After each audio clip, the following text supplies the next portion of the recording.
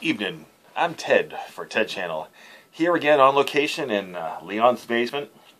I'm working on the uh, the old butcher block top prep table. Got the uh, top here. Gonna do a crap load of sanding.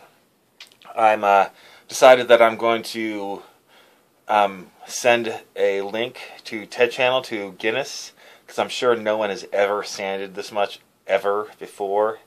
So I'm gonna some kind of a world record or something like that, and I don't know whatever they give out, and uh, it's you know eternal glory. I guess that's pretty important too.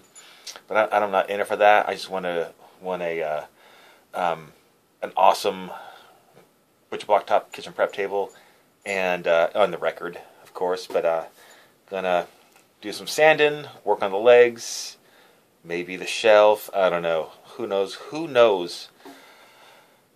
Who knows what I'm going to accomplish tonight? Maybe uh, this weekend. Hope to make a lot of progress. Three day weekend. Um, besides drinking, getting free Veterans Day meals, sleeping, and hopefully seeing one of the grandkids Friday night. Okay, that's first. I'm going to see the kid, then do the other stuff.